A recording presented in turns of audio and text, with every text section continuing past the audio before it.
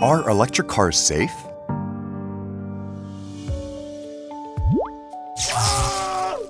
What's on your mind? Oh, EVs are really attractive, but I'm worried I'll be electrocuted if I get in an accident. Is it really safe? Don't worry, I'll explain. As the spread and interest in EVs gradually increase, the concerns about EV safety have also grown. EVs use high voltage of 300 volts or more. 300 volts is higher than 110 volts or 220 to 240 volts commonly used in homes, so dangerous situations can occur.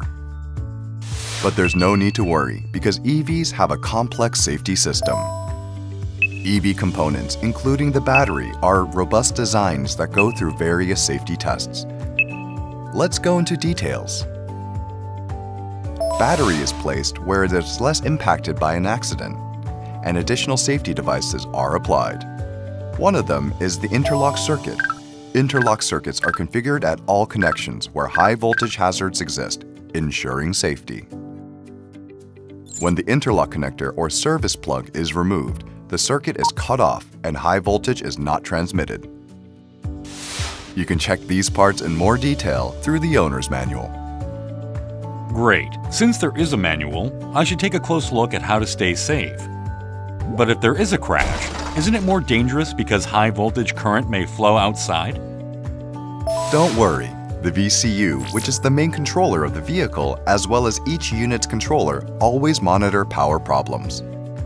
And in the event of a collision, it has a system that turns off the power in conjunction with the airbag system. Before mass production of the vehicle, it goes through numerous safety tests. Only the products that pass the tests can be sold, so the probability of an electric shock is close to zero. I was quite worried, but now I'm relieved. But still, we should learn how to use EV safely just as we know how to use home electronics safely. You must observe the following safety rules when using them. First, the orange cables inside the vehicle's PE room are high voltage cables, so you should never touch the cables without high voltage cutoff. Second, do not operate high voltage devices such as chargers with wet hands. Third, safety conditions such as damage to the charging cable's sheath or the connector should be checked periodically. Fourth, the inspection of the high voltage system should be left to fully trained and qualified Kia technicians.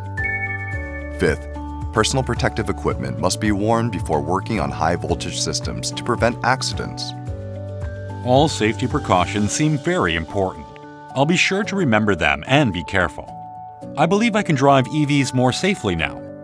Of course, EVs are safer vehicles than any other. Drive with confidence.